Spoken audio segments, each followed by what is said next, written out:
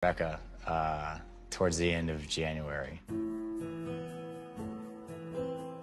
Where actually, the, the, the first time we kissed was Royal Rumble weekend. Little known secret. There she is. Okay. What's up, man? How's your wife? Oh, I'll live. Congratulations. Thank you, baby, too. Hold it. Do my best. I had some uh, big shoes to follow tonight. Is he? I did what I could. Nope.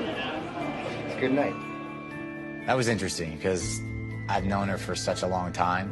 Never really even thought about the other one in that way, and and so even when we kind of started hanging out as more than friends, it's it was it felt really nice, but it was also like ah maybe we shouldn't do this. But uh, after after a couple weeks, it was pretty obvious that there was no way we were gonna gonna avoid it, and uh, I,